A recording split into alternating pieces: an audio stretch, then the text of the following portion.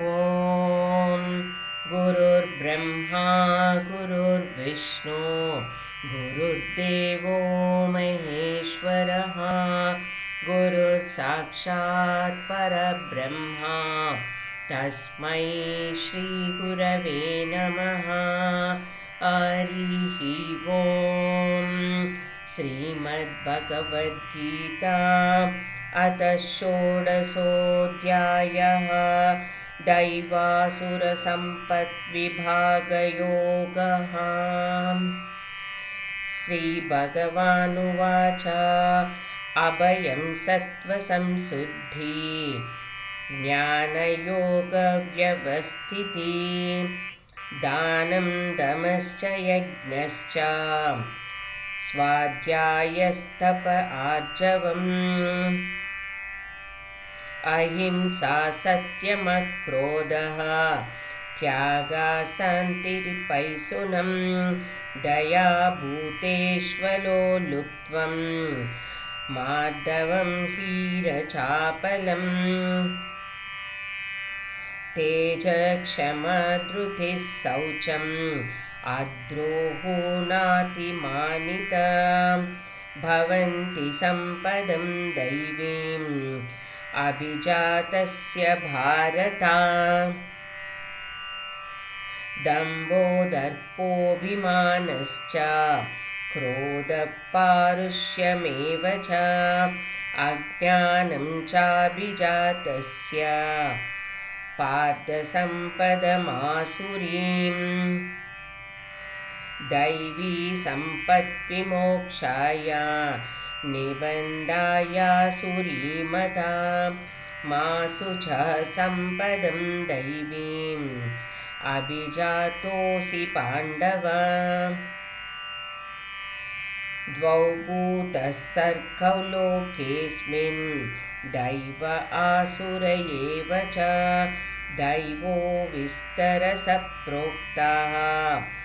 आसुरं पार्थ मे शृणु प्रवृत्तिं च निवृत्तिं च जनान विदुरासुराः न शौचं नापि चाचारा न सत्यं तेषु विद्यते।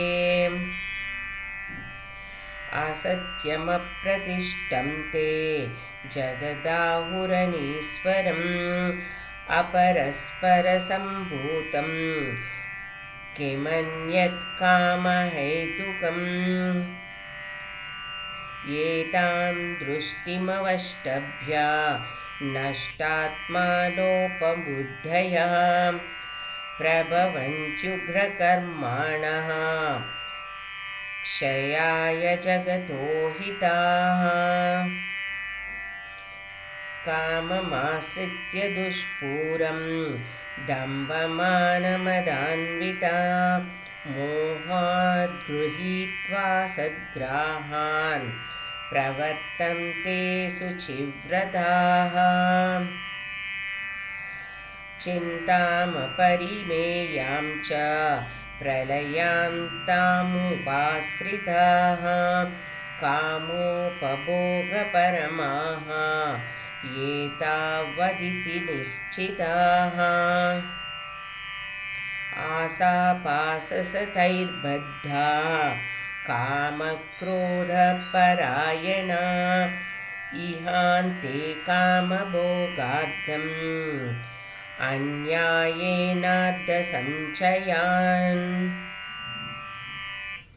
इदमद्य मया लब्धम् इमं प्राप्स्ये मनोरथम्।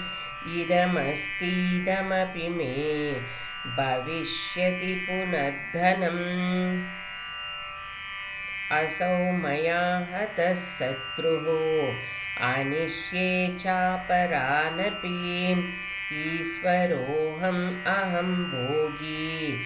सिद्धोऽहं बलवान् सुखी आड्योऽभिजनवास्नस्मि कोऽन्योऽस्ति सदृशो मया। यक्ष्ये दास्यामि मोदिष्ये। इत्यज्ञानविमोहिताः। अनेकचित्तविभ्रान्ता। मोहजालसमावृताः। प्रसक्ता कामभोगेषु पतन्ति नरकेषु च आत्मसम्भाविता स्तब्धा धनमानमदान्विताः यजन्ते नाम यज्ञैस्ते दम्भेनाविधिपूर्वकम् अहङ्कारं बलं दर्पं कामं क्रोधं च संश्रिताः मामात्मा परदेहेषु प्रद्विषन्तोऽभ्यसूयकाः तानहं द्विषधः क्रूरान् संसारेषु नराधमान् क्षिपामयजसमशुभान् आसुरीष्वेव योनिषो। आसुरीं योनमापन्ना मूढा जन्मनि जन्मनि। मामा प्राप्येव कौन्तेयां ततो यान्त्यदमां गतिम्। त्रिविधं नरके सेद्यं द्वारं नाशनमात्मनः कामक्रोधस्थलोभाः तस्मादेतत्त्रयं त्यजेत्। एतैर्विमुक्तकौन्तेया तमोद्वारैत्रिभिर्नराः आचरत्यात्मनः श्रेयः ततो याति परां गतिम्। यः शास्त्रविधिमुत्सृज्य वर्तते कामकारतः। न स सिद्धिमवाप्नोति न सुखं न परां गतिम्। तस्माच्छस्त्रं प्रमाणेते कार्यकार्यव्यवस्थितौ ज्ञात्वा शास्त्रविधानोक्तं कर्म कर्तुमर्हसि। ॐ तत्सदिति श्रीमद्भगवद्गीतासु उपनिषत्सु ब्रह्मविद्यायां योगशास्त्रे श्रीकृष्णार्जुनसंवादे दैवासुरसम्पद्विविभागयोगो नाम षोडशोऽध्यायः सम्पूर्णं स्वस्ति